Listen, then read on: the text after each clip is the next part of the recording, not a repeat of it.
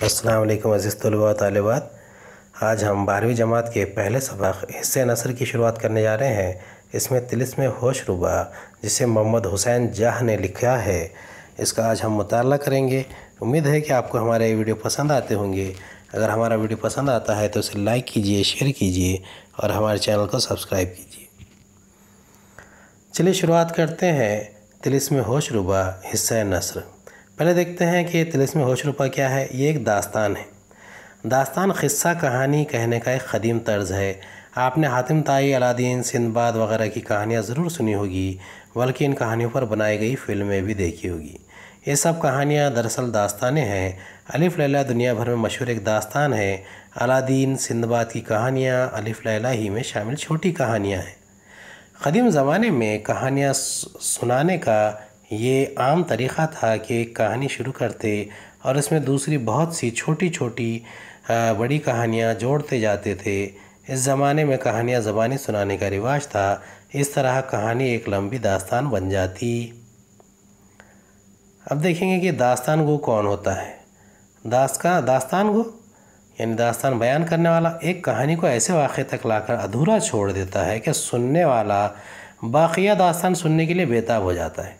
दास्तान को अगली रात इसी कहानी को दूसरी कहानी से जोड़कर दास्तान को आगे बढ़ा देता है। इस तरह बेशुमार वाक़ और बेशुमार किरदारों पर मुश्तमिल बहुत से मजमू तैयार हो जाते थे, जिन्हें दफ्तर कहा जाता था। तिलिश में होश रुपा भी एक मज़ीद मज़ीद तवील दास्तान दास्तान अमीर हमज़ा का एक दफ्तर है। यह दफ्तर हज़ार सफ़ात के आठ या दस जल्दों पर मुश्तमिल है। इसमें अमीर हमज़ा अपने लश्कर के साथ हज़ार शक्ल के बादशाह लखा बाख्तरी से मुकाबले के लिए निकलते हैं। अल्लाह ने खुदाई का दावा भी किया है और तिलिस्म के सारे बादशाह, जादूगर, देव, परियाँ और दूसरी मखलूक़ात इसे अपना खुदा मानती है। अमीर हमज़ा लखा के ताक़ब में तिलिस्म हज़ार शक्ल तक पहुँचते हैं, लेकिन लखा वहाँ से फ़रार हो जाता है।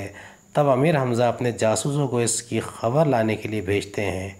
लखा को गुलजार सुलेमानी के बादशाह ने पनाह दी हुई है। अमीर हमज़ा का लश्कर गुलजार सुलेमानी की तरफ़ रवाना होता है इसके बाद का क़स्सा जैल में दिया जा रहा है। चलिए देखते हैं ये अकतबास कैसा है। ये अकतबास तिलस्म होश रुबा जल्द अव्वल की इब्तदाई सफ़ात से माखूज है।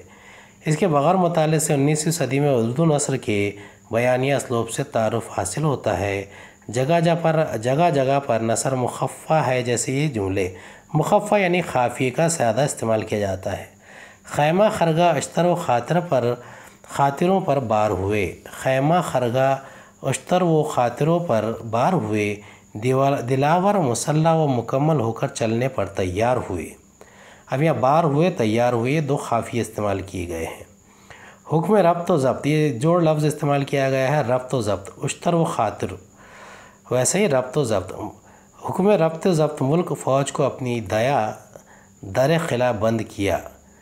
हुक्म रब्त व ज़ब्त मुल्क फ़ौज को अपनी दिया दर खिला बंद किया। अब ये दिया और किया ये भी काफ़ी हैं। अक्सर सत्रों में ज़ैर इजाफ़त वाली तरकीब इस्तेमाल की गई है, जैसे ब हमराही लखा, खिदमत अमीर किश्वरगीर। ज़ैर ज़ेर इजाफ़त है ये। तरकीब हमराही लखा, खिदमत अमीर किश्वरगीर। गुजारिश खिदमत सुल्तान आलिशान वगैरह। हम आज ऐसी तरकीबें अपनी गुफ्तु और तहरीर में इस्तेमाल नहीं करते या बहुत कम करते हैं। चलिए जान पहचान करते हैं तुलस्म होशरबा के जो मुसनफ़ है वो कौन है? तुलस्म होशरुबा को वाक़ दर वाक़ सुनाने का काम अट्ठारह सौ सत्तावन ईस्वी से पहले रामपुर में शुरू हुआ। इसकी इब्तदा अमीर अहमद अली ने की। इनके बाद दूसरे बहुत से दास्तान गो ये दास्तान गो यूँ ने, दास्तान गोइयों ने इसे अवाम में पेश किया। इस ताल्लुक़ से अहमद अली के शागिर्द अम्बा प्रसाद का नाम लिया जाता है। फिर अहमद अली ही के बेटे ग़ुलाम रज़ा ने दास्तान सराई की रिवायत को आगे बढ़ाया, दास्तान सराई की रिवायत को आगे बढ़ाया। दास्तान की रिवायत ये रही है कि इसे सामाइन के सामने सुनाया जाए। फिर तिबात की आसानी ने इसे ख़िरात की रिवायत में तब्दील कर दिया। तिबात यानी छपाई करना और ख़िरात यानी सुनाना। यानी जो कहने वाला है वो क्या है? खारी है। यानी दास्तान किताबों में आ गई। तिलिस्म होश रुबा की तमाम जिल्दें दो दास्तान गोइयों का कारनामा है। एक मोहम्मद हुसैन जा और दूसरे अहमद हुसैन खमर। इसकी पहली चार जिल्दें जाह ने और बाकिया जिल्दें खमर ने सुनाई और लिखी। असल दास्तान अमीर हमज़ा को जितना सुना और पढ़ा गया है, उर्दू में कोई दास्तान इस मरतबे इस मरतबे को नहीं पहुँची, नहीं पहुँचती। अफसोस कि इस अजीम लसानी कारनामा के मुसनफ़ों के हालात दुनिया के सामने नहीं। चलिए, इसकी शुरुआत करने से पहले हम इसके जो मुश्किल अल्फाज है, उसे देख लेते हैं, इसे समझ लेते हैं, ताकि आपको समझने में आसानी हो। लखा कौन है? लखा तिलिस्म होशरुबा का एक जादूगर है। हज़ार शक्ल एक क़िले का नाम है। कर्रफर शान शौकत, साहिब खरा, वो शख्स जिसकी पैदाइश के वक्त अच्छे सितारे एक बुर्ज में हो, लश्कर ज़फ़र पैकर, फ़ातह लश्कर हरकारे हरकारे की जमा, यानी खासियत ख़बर रसा, ख़बर देने वाला। सबादम हवा की रफ्तार रखने वाला। सबा और हवा को ही कहते हैं बेबखाफना होने वाला। मस्कन गज़ी होना, क़्याम करना, ठहरना, अमीर किश्वरगीर मुल्क पर खाबिज अमीर सर सर यानी तूफ़ानी हवा। बताजील बहुत जल्दी में, ये उजलत से ताजील बना है। मुजरा यानी सलाम शहरियारी, बादशाही, आली तबार, यानी ऊँचे मरतबा वाला, तबार मरतबे वाला। नस्फत शाम, अदल व इंसाफ जिसका झंडा हो। नस्फत निशान, यानी निशान आम तौर पर ये झंडे के लिए लफ्ज़ इस्तेमाल किया जाता है। मिनवान, यानी जू का तो। हम मन वान कहते हैं यहाँ पर, मिनवान। पेशा पेश खैमा वो सामान जो फ़ौज की रवानगी से पहले अगली मंजिल को भेजा जाता है। रिसाले रिसाले की जमा, रिसाले, रिसाला की जमा, फ़ौजी दस्ते। मरकब हाय ताज़ी, अरबी घोड़े अरबी घोड़े को मरकब हाय ताज़ी कहते हैं। खैमा खरगाह, साजो सामान। उश्तर यानी ऊँट, खातिर, खच्चर आने नामी। नहायत मशहूर धोखेबाज, चालाक, जासूस पगह सुबह। वरुद वारिद होना पहुँचना, वरुद वा, वारिद होने से मुराद है वरूद। बारगाह फलक, आसमान जितना बुलंद दरबार, तायरे परीदा, उड़ता हुआ परिंदा, विरंजी कांसे की, फ़रोकश होना, ख़याम करना, ठहरना, हवाए खुश, मज़ा देने वाली हवा, अच्छी लगने वाली हवा। बिना चारी ना चाहते हुए साहिर आने जहाँ दुनिया भर के जादूगर फिर आए फिर आए, लौट आए। सैदाफगन यानी शिकारी। अफगन सैदाफगन यानी शिकारी। स्वाबत व सैारगा गैर मुतहरिक और मुतहरिक सैारे स्वाबत यानी साबित, गैर मुतहरिक। सैारगा यानी मुतहरिक सैारे सयाद फ़लक, आसमान का शिकारी, मुराद सूरज। सब्ज़ा ज़ार फ़लक, आसमान का सब्ज़ा ज़ार। सैदान सैदाफगन सवाबत व सैार गाँ सितारों का शिकार करने वाला। ये देखिए, जोड़ लफ्ज़ इस्तेमाल किए गए हैं, वाव का भी इस्तेमाल है। आफ्ताब आलम आलम आलमताब या आफ्ताब आलमताब ज़ेर इजाफ़त अल्फाज इस्तेमाल किए गए हैं, दुनिया को रोशन करने वाला सूरज। बहर शिकार शिकार के लिए आज़म मैदान होना। मैदान की तरफ़ जाने का इरादा करना। आज़म अज़म से बना है, आज़म से इरादा, यानी अज़म करना मुसम इरादा कर लेना या सिर्फ़ इरादा करना। बाहशम व ख़दम नौकर चाकर के साथ, नुजहत दश्त को दश्त कोह कोह यानी पहाड़ को कहते हैं। दश्त नुजहत जश्त दश्त अब यहाँ पर नुजहत के माने ताजगी है। दश्त ये जंगलों के लिए लफ्ज़ इस्तेमाल किया गया है, बियामा के लिए भी इस्तेमाल होता है। कोह यानी पहाड़। कछार दरिया का दलदली जंगली इलाक़ा, कच्छ से कछार, यानी दलदली इलाक़े को कहते हैं। शेफ्ता आशिक। ब मुजरद हुक्म हुक्म के मुताबिक, कनौतियाँ बदलना, चौकन्ना होना, कान खड़े हो करना, कनवतियाँ। अब ये कान से कनवतियाँ बना है, यानी कान खड़े करने के लिए लफ्ज़ इस्तेमाल करते हैं। कोस दो मील का फासला, तीरे मारे द मश्त, तीरे द मारे द मुश्त, यानी मुश्त हो कहते हैं मुट्ठी को, यानी द यानी दस, तीरे मारे, दस मुट्ठी लंबे सांप के बराबर तीर। बहरे कमान, एक सिरे से दूसरे सिरे तक कमान की लंबाई। बहरे कमान, दो सार होना यानी आर पार होना। तेरा उतार यानी घूप अंधेरा, जा गिज़ा, जा को तड़प तड़पा देने वाला, नाला व शेवन, चिल्ला चिल्ला कर रोना, गौस, गौज व खौर, अब ये गौर खौस जैसा हम इस्तेमाल करते थे, वैसे यहाँ पर गौज व गौर इस्तेमाल किया गया। गौर व गौज यानी सोच विचार करना। गलीम अयारी जादुई कमल। ये गलीम, ये कमल के लिए लफ्ज़ इस्तेमाल किया जाता है। अयारी जादुई के लिए लफ्ज़ इस्तेमाल किया जाता है। चलिए शुरुआत करते हैं इस तिलिस्म होशरुबा की। पहली शुरुआत करते हैं। रावी कहता है कि जब लखा हज़ार शक्ल से भागा था। हमज़ा साहिब खरा ने लश्कर ज़फ़र पैकार से अपने चार हरकारे सबादम तेज़ रफ्तार लखा बेबखा के हमरा रवान, रवाना फरमाए थे कि जिस जगह पे, जिस जगह ये मस्की, मस्कन गज़ी हो और जो इसे पना दे, उस बादशाह की हकीकत से और उस मुल्क व सिपा की कैफियत से हज़रत ख़दर खुदरत शाहिन शाही को इतला दें। अब रावी कहता है, यानी लिखने वाला कहता है। जब लखा हज़ार शक्ल से भागा, लखा बादशाह, हज़ार शक्ल से, यानी उस क़िले से भागा जिस जहाँ रहता था, हमज़ा साहिब खरा। यानी हमज़ा जो है अमीर हमज़ा की बात की जा रही है, बादशाह की।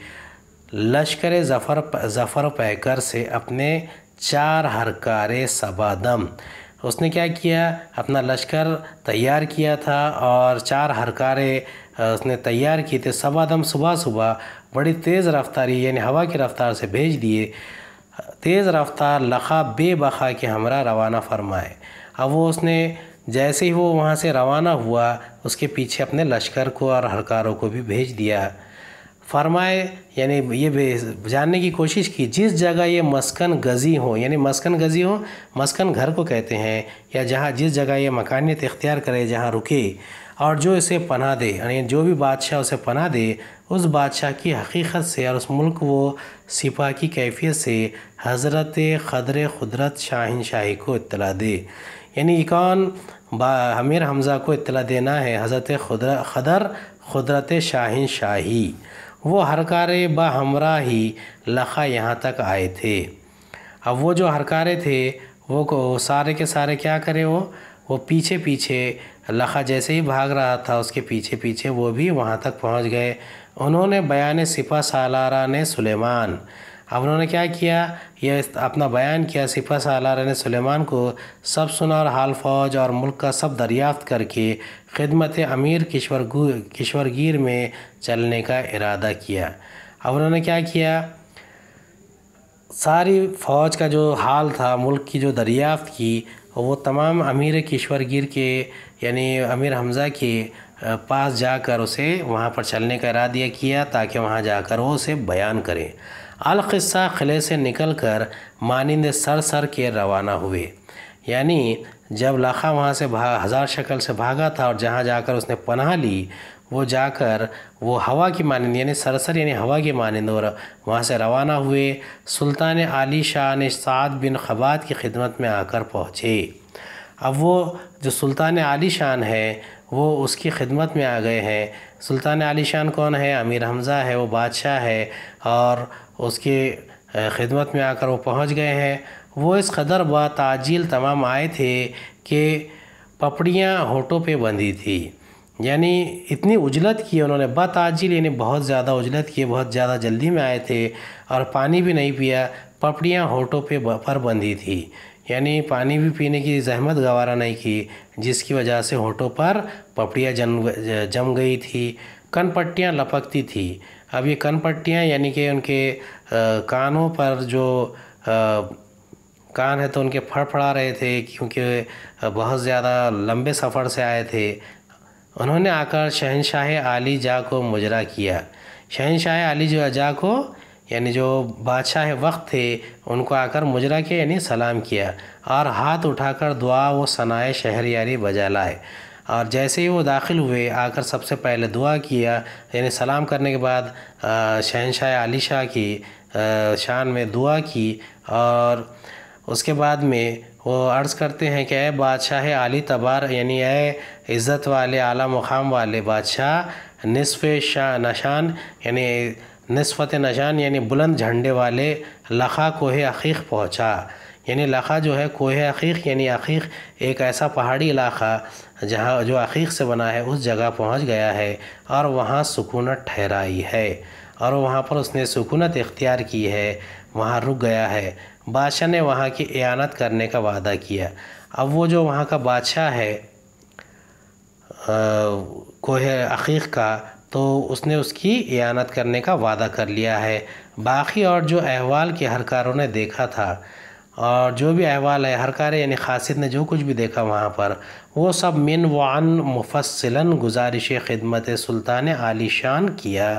यानी उन्होंने सब मिन वान मुफसल बयान किया बादशाह की खिदमत में। बादशाह ने अपने सिपा सालार हमज़ा साहिब खरा की जानब देखा हुक्म दिया कि पहलवान दौरा आदि को बुलाओ और पेश खैमा तरफ़ को कोह अकीक़ के रवाना करो। और बादशाह ने क्या किया? अपने सिपह सालार हमज़ा को देखा, जो साहिब खरा मौजूद थे, उनकी जानब भी देखा और पहला, पहलवान दौरा आदि को बुलाने का हुक्म दिया, ताकि वो पेश खैमा करे, यानी कोह अकीक़ की तरफ़ रवानगी करें। हसब इरशाद पलटने और रिसाले ब कर्र कर्र फर मरकब हाय ताज़ी पर सवार, प्यादे बेशुमार कूच करने लगे। अब उसमें इरशाद क्या हुआ? सब पलटने, यानी जो हुकूमत जो फ़ौज के दस्ते थे, पलटने यानी दस्ते थे, और जो रिसालदार थे, सब कर्र फर मरकब हाय मरकब हाय ताज़ी पर सवार। यानी अरबी घोड़ों पर तवा, सवार होकर बड़ी तेज़ी से वो रवाना हो रहे थे। प्यादे बेशुमार कूच करने लगे और बहुत सारी फ़ौज जो थी वो प्यादों पर मुश्तमिल थी, यानी पैदल चल रहे थे। बाज़ारी लश्कर की रवाना हुई, यानी जो लश्कर था, फ़ौज था, वो पूरा का पूरा रवाना हुआ। खैमा खरगा उश्तरों खातिरों पर बार हुए। यानी सारा पूरा का पूरा साजो सामान वो लाद दिया गया ताकि किसी किस्म की कमी महसूस ना हो। दिलावर मुसल्ह व मुकम्मल होकर चलने पर तैयार हुए। बादशाह है, मैं सरदारान ग्रामी के और साहिब खैरा मैं अयारान नामी के सवार होकर बरहबरी उसी तरफ़ चल निकले। और इस तरीके से तमाम सरदारान ग्रामी और साहिब खरा और तमाम अयार यानी जासूस, वो सब के सब सवार होकर रहबरी करने के लिए उसी तरफ़ चल पड़े। अगले वीडियो में दोबारा मुलाकात होगी, तब तक